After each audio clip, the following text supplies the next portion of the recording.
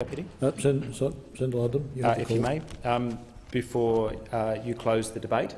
Um, this is uh, a matter that uh, actually brought me into politics in the first place, and so I'm very pleased to speak on this motion today.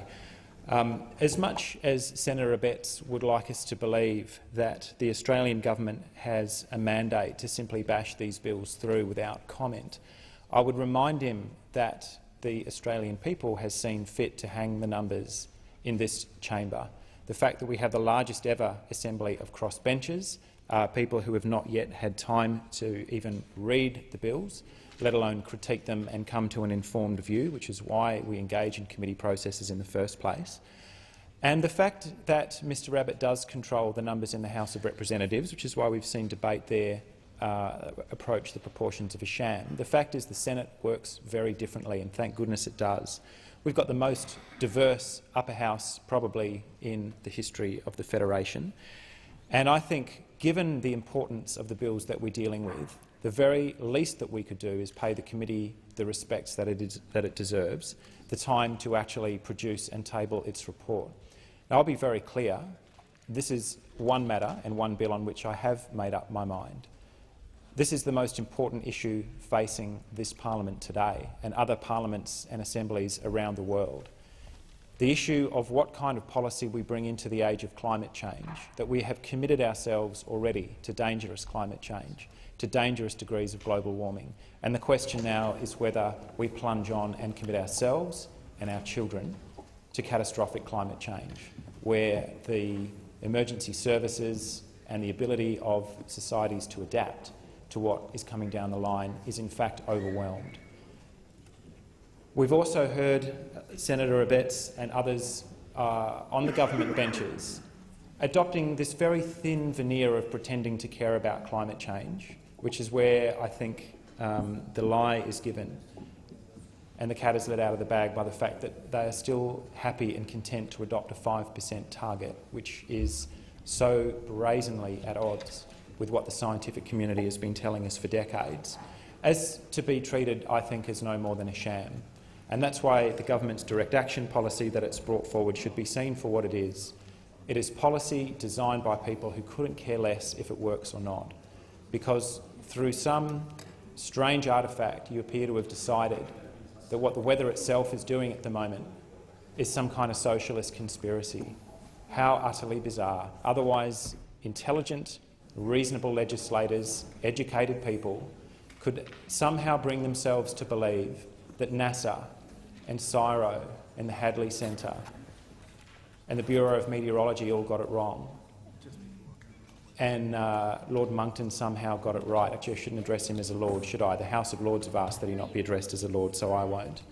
That somehow people like Andrew Bolt have got it right, with the global climate science community have somehow become engaged and enmeshed in a socialist conspiracy.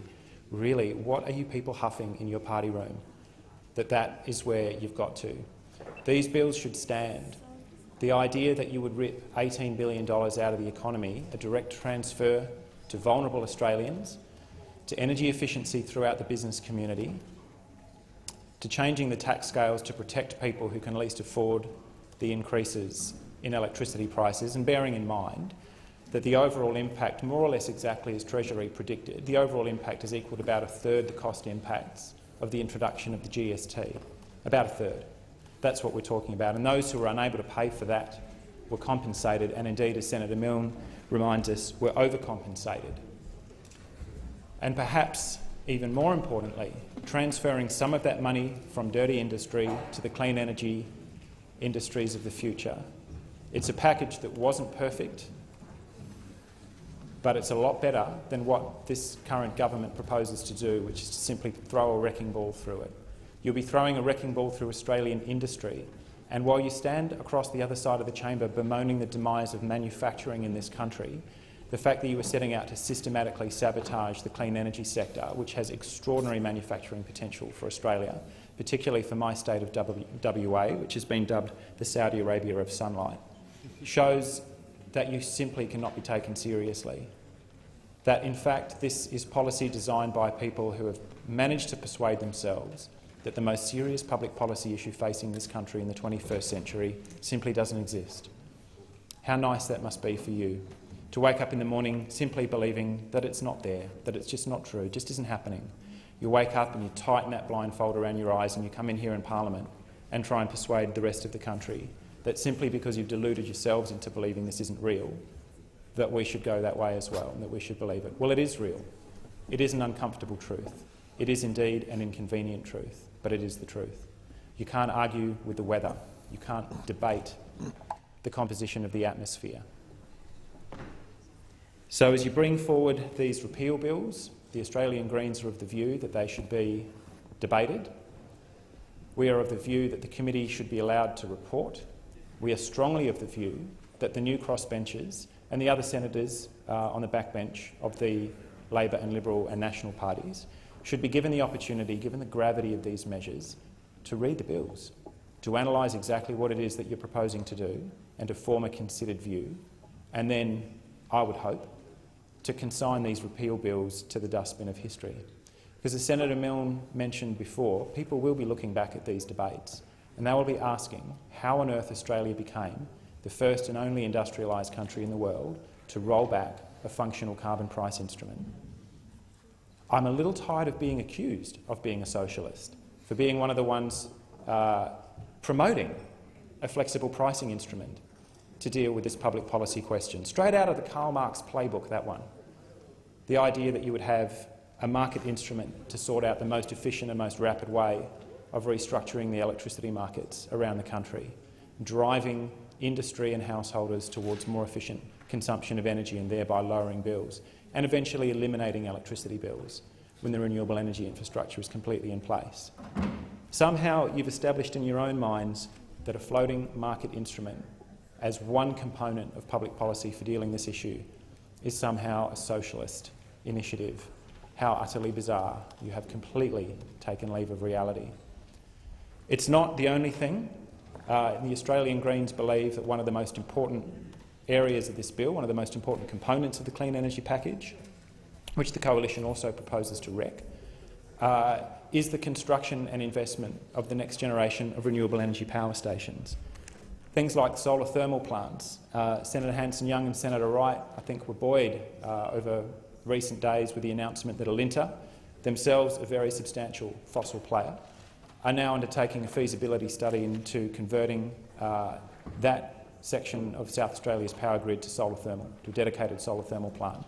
That fires the starting gun for me. I think we're going to beat you, Senator Wright. I think the goldfields in WA will be the first one to get one of those built. We look forward to the competition. Maybe Senator Waters like, might like to step up for the western part of Queensland. Our continent is drenched in sunlight, and this is the fuel for the power stations of the future. And you can try and roll it back all you like, and maybe you will be successful today, Senator Abetz, uh, through you, Mr Acting Deputy President. Maybe you will succeed in these procedural shenanigans to have these bills brought on and rammed through. But I don't think you actually are aware of just how rapidly the electricity sector is changing. What's being posed as the so-called death spiral for the black power generators in the network business, at least on the east coast of Australia, is in fact, I think, the sign of an industry being born, an industry that we desperately need to perform and outperform expectations as it has been doing. So you can sit there and you can study your repeal bills and you can craft your speeches about toxic taxes and you can rehearse the same tired talking points that got you through last September because people genuinely believed your campaign of of, uh, of fear-mongering that Whyalla would be wiped off the map, that people would be priced out of their homes, that electricity bills would go through the roof. None of it happened. And that's why it didn't work when it came to the West Australian by-election. The talking points no longer worked. The stale lines that you were rolling out meant that your vote collapsed by another 5 per cent, the combined vote of the coalition. Not a glitch, not the kind of bump that always happens in by-election, the continuation of a long-term decline in the Liberal Party vote was 50 per cent of the West Australian vote a decade ago.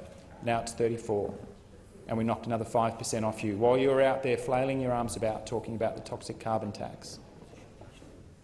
The Greens recorded their strongest ever vote in Western Australia in the Senate. So the reason, I guess, that it's not working anymore is that the fear campaign was exposed as hollow. Whyalla is still chugging along pretty nicely. Alinta is now proposing solar thermal in South Australia. The mining industry, the off-grid miners, are the ones first in the queue in Western Australia to eliminate their diesel fuel bill and their gas bill by building solar plants at their mining operations.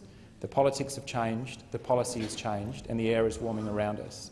So all I can do is urge the crossbenchers uh, to join with the Greens in opposing this motion, in taking time and giving these bills due consideration, because there won't be, in my view, certainly in this term of parliament, a more important set of bills that we deal with. We cannot be the first country in the world to roll back a functional carbon price that is actually changing the structure of electricity markets, at least on the east coast. It is driving emissions down in the electricity sector, and we are finally seeing that economic tipping point where the next generation of renewable energy technology and the increasing economic uh, advantages of eliminating your fuel bill, your coal, your gas and your oil bill, is finally, the penny is finally dropping, that that revolution is here. And if you think you can hold that back with these votes today, you're mistaken. But maybe you will manage to cost us five years as Australian industry slips further backwards down the curve, outcompeted by the United States, by the Chinese, by the Middle East. They also have a fair amount of sunlight there. Is that really what you're after? You won't be able to say you weren't warned. You went into this with your eyes open.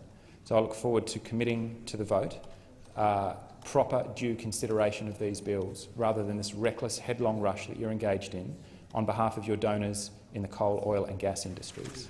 Thank you.